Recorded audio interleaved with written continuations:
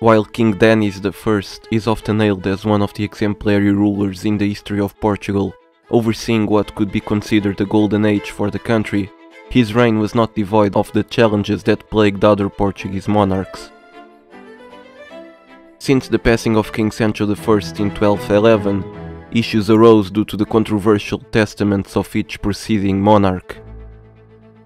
Also, in the case of Dinis, his rule came to a tumultuous end just one year after a civil war where he confronted his son, Afonso. The conflict stemmed from Afonso's resentment towards the land grants and positions bestowed upon his half-brother, Afonso Sanches, a bastard son of Dinis. Although the civil war concluded in 1324 and Dinis passed away in 1325, this did not bring an end to the animosity between his sons. The subsequent ruler, Afonso IV, embarked on a very martial reign, drawing inspiration from the first Afonso who governed Portugal. His military exploits not only showcased his valor but also played a crucial role in securing the continuity of Christian Iberian Peninsula. Furthermore, Afonso IV's kingship coincided with the devastating Black Plague in Portugal, and marked the exploration of new lands thousands of kilometers to the south by Portuguese ships. Additionally, his reign is remembered for one of the most renowned court episodes in the history of medieval Europe, culminating in a tragic outcome.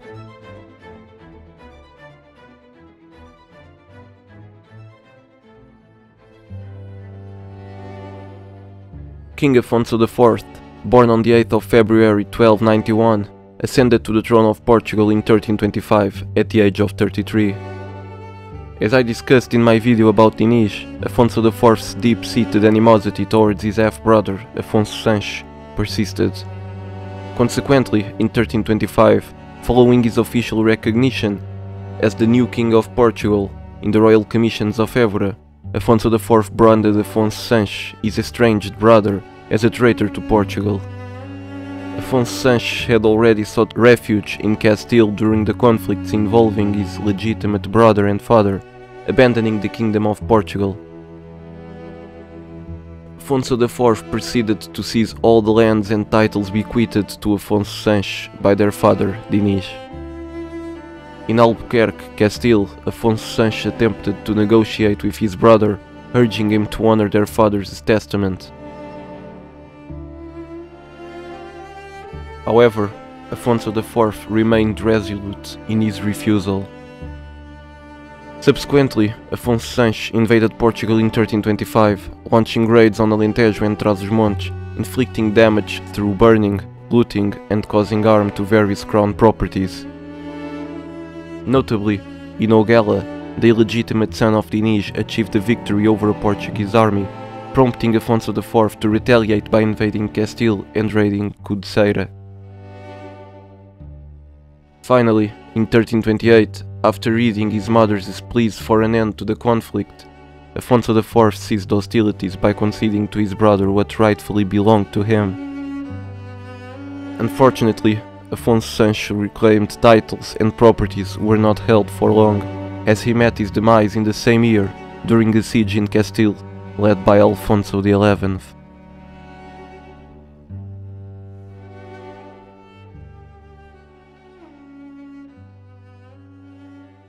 Despite King Afonso IV's reconciliation with Afonso Sanches, another brother of his and influential figure in the court of Dinis, João Afonso, did not fare as well, facing execution in 1325.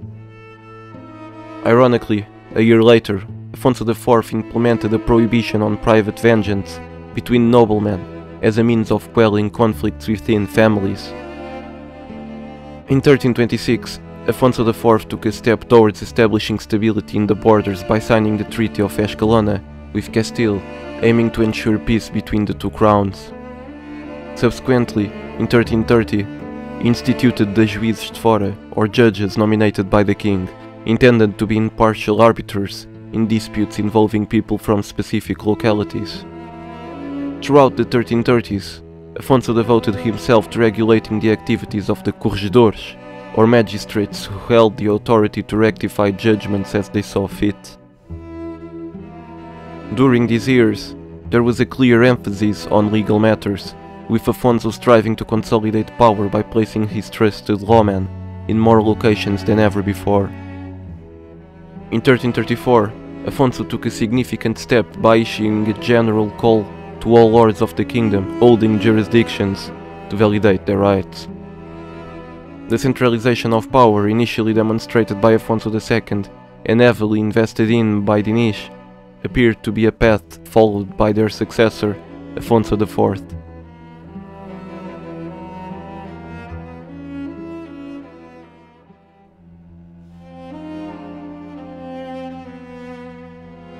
In the year 1336, as King Afonso IV's reign prioritized the development of a formidable navy to counter Muslim invasions and conduct offensive actions, a tradition initiated during the time of Dinis, Portugal achieved unprecedented exploration further south. Portuguese and Genoese sailors, financed by the crown, ventured to the Canary Islands off the North African coast. Lanzarote Malocello, guided by knowledge from previous merchants and sailors, landed on the island subsequently named Lanzarote. In 1341, King Afonso IV launched a new expedition, consisting of three ships led by the Florentine Tegiad Corbizzi, the Genoese Nicoloso da Recco, and an individual whose name has been lost to history. The diverse crew included Portuguese, Castilians, and Italians, with the primary objective of revisiting Lanzarote. The expedition, primarily a reconnaissance mission, revealed a land abundant in cereals, water, fruits, and trees. Despite bringing back minimal items such as redwood and animal skins, the venture contributed to Portugal's expanding knowledge. However, Portugal faced a setback when the Castilian man, Dom Luís Lacerda, residing close to the papacy in Avignon and serving as an admiral and ambassador for King Philip VI of France, sought the Pope's permission to claim the islands for converting the natives to Catholicism. Lacerda even requested a Portuguese crew and ships from King Afonso IV for this purpose. In response, the Portuguese monarch contested the perceived injustice, asserting Portugal's right to the islands as the discoverer. Despite Afonso IV's efforts, Pope Clement VI granted Castile the rights to the North African islands. Nevertheless, in 1345, Afonso IV received compensation in the form of the clergy's taxes in his kingdom for a two-year period.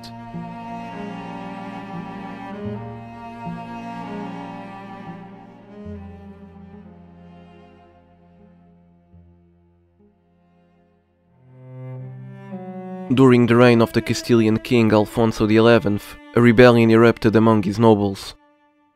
For reasons that remain unclear to this day, Afonso IV of Portugal decided to support the rebellious aristocracy.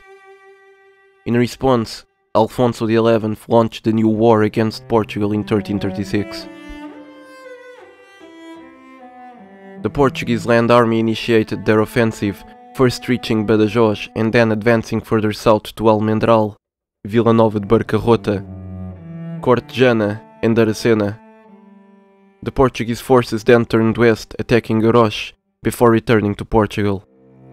The conflict also unfolded at sea, with a fleet departing from Lisbon and reaching as far as Lep. In 1337, the Castilians retaliated, launching their offensive from Badajoz to target Elvas, Arronches, Veiros, Vila Viçosa, Olivença, and eventually returning to Badajoz. During the same year, another campaign was initiated by Alfonso XI, departing from Sanlúcar and attacking territories in the far southwestern region of Portugal. The war continued into 1338, when the conflict came to an end. An imminent Muslim invasion from North Africa that poised to bring a large army and potentially conquer the entire Iberian Peninsula prompted Latin Christendom's unified response. The crowns of Portugal and Castile would thus join forces against the Marinid Sultanate.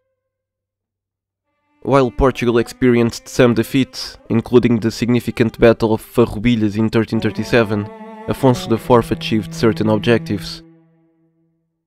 This included Alfonso XI's promise to treat his Portuguese wife, the daughter of Afonso IV, well. Additionally, Afonso IV successfully brought Constança, the future wife of his son and former wife of Alfonso XI, to Portugal.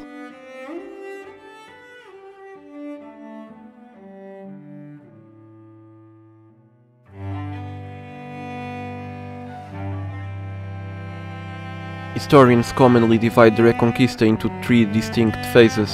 The initial phase, spanning from the 8th to the 11th century, is characterized by Islamic hegemony. The second phase, occurring from the 11th to the 13th century, witnesses a power equilibrium.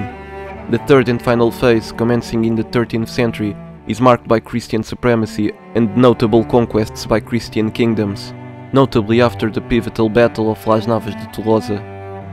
However, the Islamic threat persisted beyond this point. In 1339, the Prince of Granada seized control of Gibraltar, launching numerous raids against Castile. Alfonso XI eventually defeated him in Xerez de la Frontera. Yet, a year later, the King of Fez sought vengeance for the Islamic defeat and ordered a fleet of 100 ships to attack Castile. This naval force was victorious against Castile in the Strait of Gibraltar. Fearing the impending land invasion, Alfonso XI urgently sought aid from Portugal and Genoa. It is suggested that Afonso IV's daughter, the wife of Alfonso XI, played a role in urging her father to support Castile. While this is plausible, it is also likely that Afonso IV recognized the broader threat to the entire Iberian Peninsula posed by a dangerous Marinid invasion. The Portuguese army swiftly marched to Tarifa, which was under siege by the North Africans and the Kingdom of Granada. Simultaneously, Portuguese ships sailed from Lisbon to reinforce the Castilian fleet in Gibraltar. The decisive battle unfolded near the Salado River, resulting in one of the most impactful Christian victories in the history of the Reconquista. Chroniclers present at the battle underscored the importance of the King of Portugal, acknowledging his military valor and depicting him as a distinguished knight who refused the gold that had been abandoned by the Sultan upon his retreat. His unwavering focus was on the paramount goal, the defense of Christendom. This was the last Muslim invasion of the Iberian Peninsula.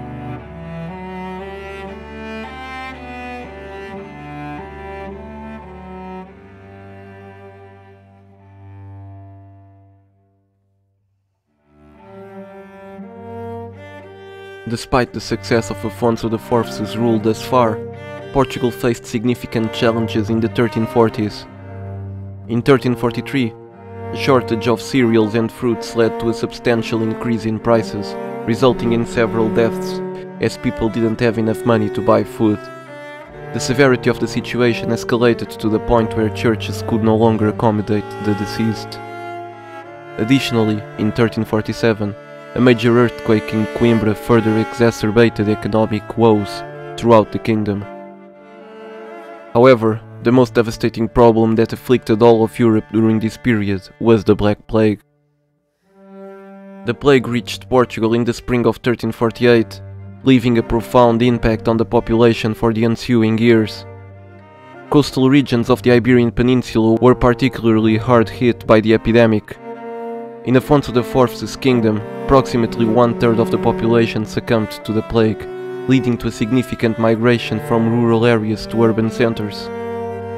By 1349, there was a shortage of labor in the agricultural sector, prompting the nobility to offer higher salaries to those who were willing to work. Despite the country being in the midst of a profound crisis, Historians note that Portugal was among the first European countries to take measures to prevent social and economic ruin. Firstly, the king ordered the examination of testaments written during the epidemic to verify their validity. Secondly, Afonso IV prohibited exploitative trade practices that took advantage of the high demand for essential products during the fear-filled times. Thirdly, the monarch mandated that people continue working in the same manner as before the plague, viewing the inertia of rural workers and the exorbitant salaries they were demanding as detrimental to the kingdom's economy. To ensure productivity, Afonso IV appointed two good men, that is, local representatives, to identify the healthy population capable of working and force them to contribute to their labor. The king also forbade fit rural workers from seeking refuge in monasteries, insisting that their place was in rural areas working the land. Refusal to comply with these directives resulted in punishment and potential banishment. While some of these measures may seem stringent, they proved necessary to maintain the country's economic stability, ultimately yielding positive results as workers returned to their posts.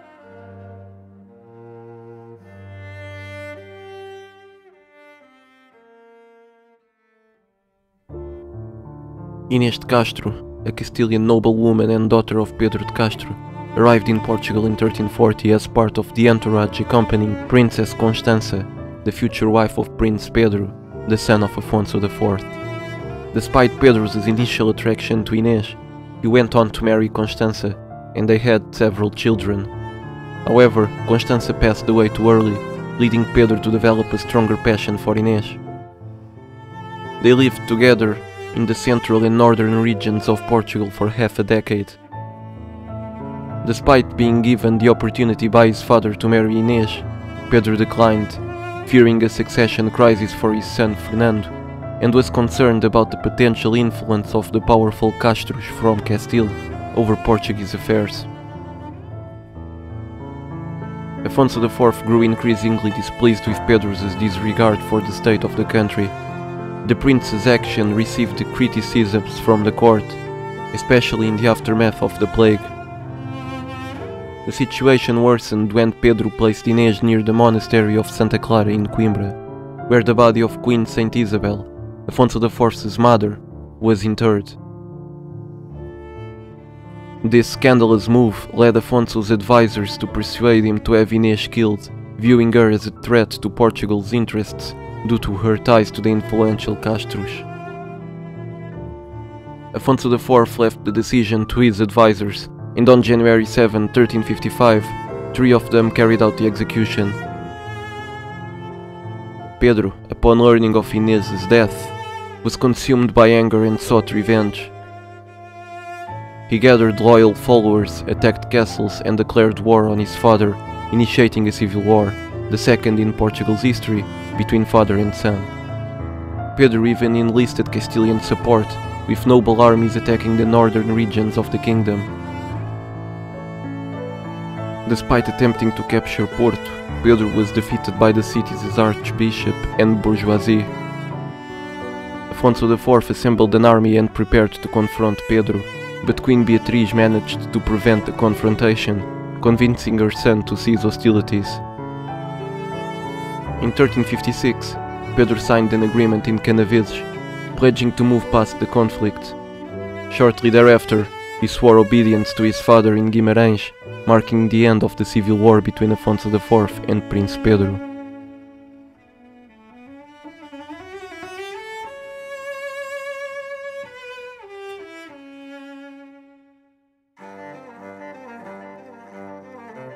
Not too long after the conflict, King Afonso IV passed away in 1357 at the age of 66. He ruled the kingdom for 32 years, making significant contributions on various fronts. Undoubtedly, he proved to be a more bellic king than his father Dinis, showcasing valor, particularly notable in the pivotal Battle of Salado in 1340, a crucial moment for Latin Christendom. Afonso's legendary bravery on the battlefield became ingrained in the history of Hispania, with his refusal to accept large sums of gold after the battle was over. His efforts toward the further centralization of power and the development of the legal system were pivotal, especially during the dark period of the Black Plague, where his actions were considered among the quickest and most effective in all of Europe. Afonso IV's investment in improving the navy by fostering trade and financing expeditions contributed significantly to the growing maritime power of Portugal. The voyages to the Canaries in 1336 and 1341 marked important steps for Portugal's expansion into the south, setting the stage for what would happen in the 15th century.